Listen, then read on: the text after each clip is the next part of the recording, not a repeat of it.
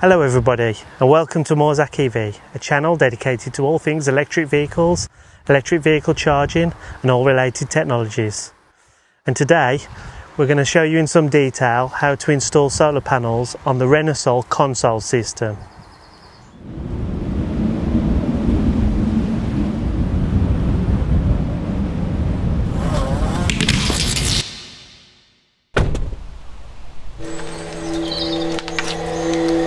We've got a few videos on our solar panel installation, as well as a bunch of other videos on EVs, um, EV tech. So make sure you like and subscribe and you get notifications of all our future videos. So as you can see, I'm up on the roof installing solar panels. So I thought I'd explain a little bit about um, the Renusol Console Plus system, why we selected it, what the advantages are, um, some of the characteristics of the system. We'll take you through the installation process later. So this is the Renusol Console Plus. There's a couple of elements to it. The first is this tub, um, which is what the solar panels are mounted on. And there's these brackets. So these go on the bottom of the panels. And then there's a clip system, which is where you locate the brackets onto the uh, Console Plus itself.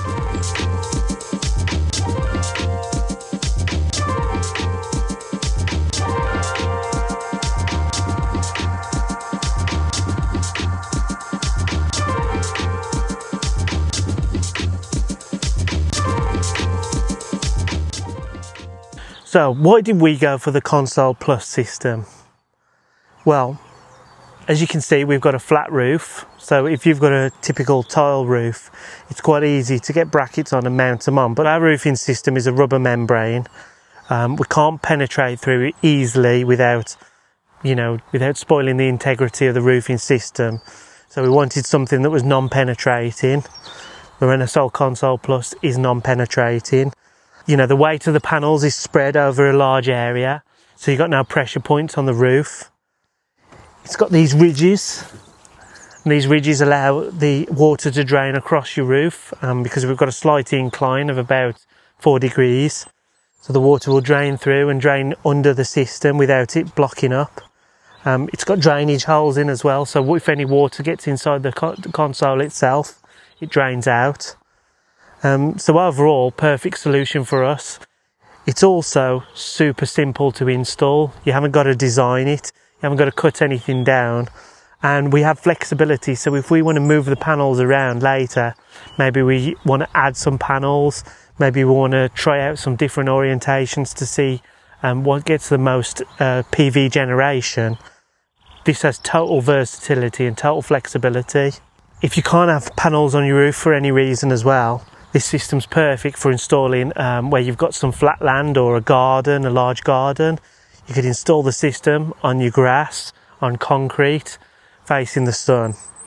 So the system itself is held down by filling the console with ballast. Fill it with sand, rocks, whatever you feel is most appropriate. And the nice thing is, once the solar panel is on the top, you can't actually see what's holding it down underneath. We also thought about wind protection. So unlike some bracketed systems where the solar, the back of the solar panel is exposed, this is all blocked up so as the wind blows from this direction there's a lot more protection from the wind catching under the panel and trying to blow the panel up. So again a lot safer than um, a bracket system in terms of how much ballast you need.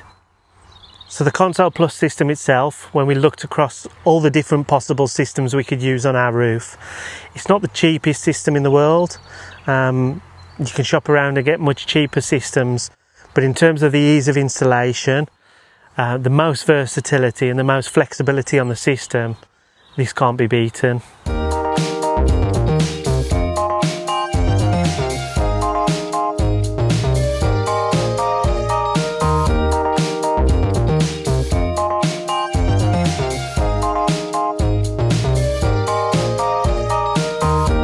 So this is how you install solar panels onto the Renusol console system. So you have the, the tub of the console, and you have two brackets for each panel.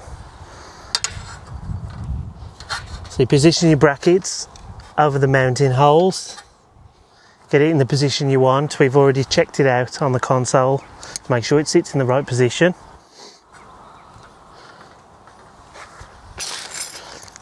Position the bracket in the right place.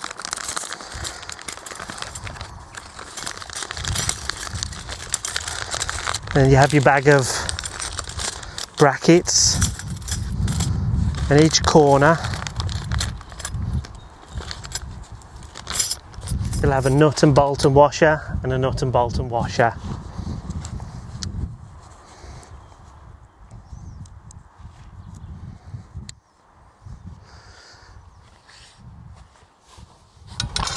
So the nut goes in the top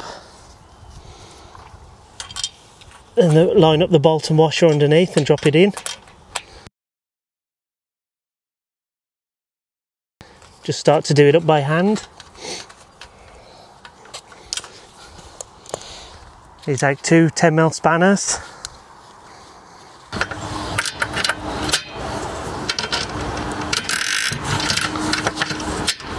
Right again, get the spanner the right way.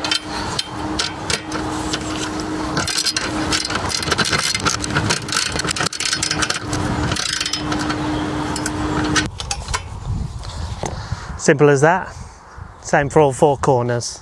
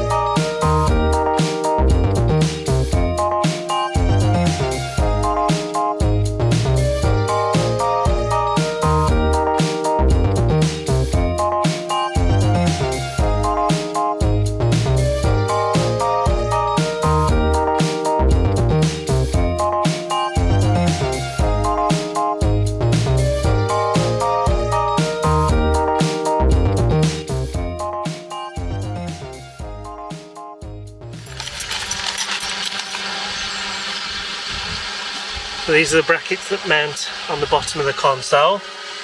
So you mount your solar panel on the console, sit it on the top, make sure the bracket's coming over the edges. You take the bracket, that fits on. You just follow the shape of the lip here. And then get it so the bracket sits the bracket on the panel sits over the top and the holes are roughly lined up.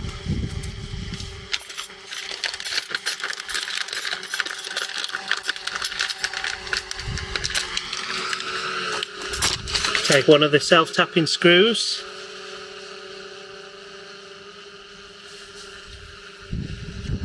A, a 10mm bit in your driver. Again make sure you're going through the holes in the bracket and the clip underneath.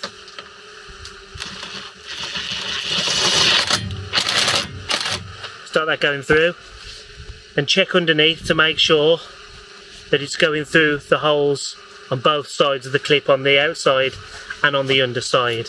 I feel it with my fingers, make sure you're not going to catch your fingers with this screw. And tighten it up. It's really easy, isn't it? Yep. This one, and repeat for all four corners.